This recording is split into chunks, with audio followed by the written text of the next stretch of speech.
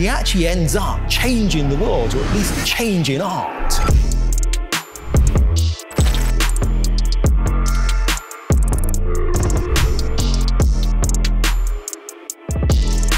This is one of the most famous paintings in the world. Like everyone knows this. Every art school person has this uh, as a poster on their bedroom wall. it's everywhere. Despite it being so iconic, I think, you know, it's really important to look closely at it. Like we might just immediately think that it's sunflowers, it's beautiful. But when you look closer, it does have this underlying sense of unease. What made Van Gogh so committed to disrupting conventions of painting? I think that the Van Gogh experts out there are still debating, you know, he was an unstable person he was really just painting from within and from what he saw in the world, rather than in any tradition. And you know, he wasn't following teachings from a school or anything. He did have one artist friend though, and that was, of course, Gauguin, who famously painted this for, in fact. Sadly, that visit with Gauguin didn't work out very well.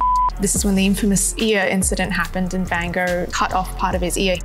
It's such a beautiful image but yet has this really quite horrific personal context for his struggles with interpersonal relationships. So I think when we're thinking about him as an artist, we have to think about him as radical and disruptive, but because he was so isolated in a lot of ways. How do you think Van Gogh would get on in our world today? We like to say, oh, you know, he was just ahead of his time and today it would be different. The fact that he was not commercially successful when he was alive uh, and that he, you know, only achieved great fame well after his death. The struggles that he face were really real. And I think, you know, talking about him today helps us to confront problems in our society today about mental health. He was a disruptor that no one knew about and he was alive. And yet here we are today. He's probably the most famous artist who's ever existed. He actually ends up, I would suggest, changing the world, or at least changing art through his desire to keep going, to keep thinking, to keep urging us to keep looking and looking and looking. Would Van Gogh be at home today in our selfie culture? Part